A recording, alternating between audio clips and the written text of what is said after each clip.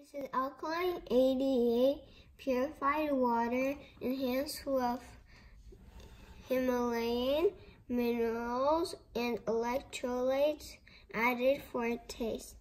It says pH is supposed to be 8.8.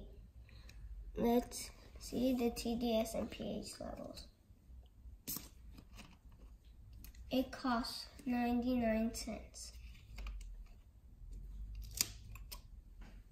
Let's pour some water in.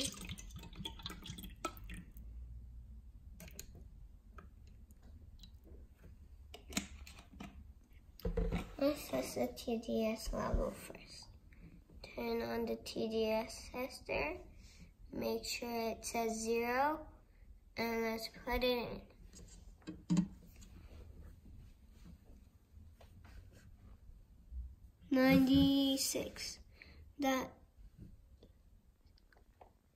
that is okay to drink. Now let's test the pH level. Only do two drops.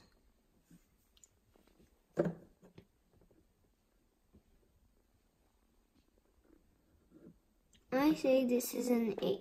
That is alkaline water.